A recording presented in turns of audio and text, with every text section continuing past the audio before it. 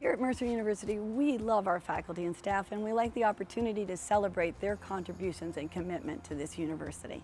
Mercer University sponsors a number of events throughout the year. This year we're excited about adding another event with our Faculty Staff Appreciation football game. We'll have the Ford Concert Series that will be all kinds of bands. There'll be Toby Town, which will be great fun for the kids. There'll be all kinds of inflatables. And then for the adults, there'll be the beer garden that'll be there.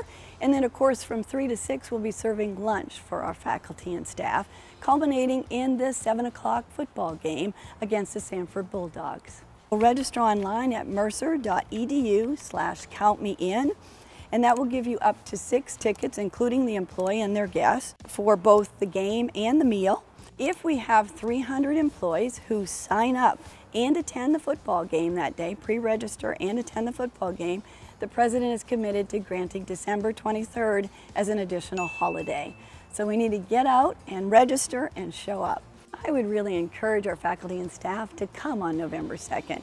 We had our university picnic a couple of weeks ago and I got feedback from our faculty and staff that they had a great time with their families out enjoying all of the activities. So come, celebrate time with your family and with your colleagues and let's cheer on those Mercer Bears.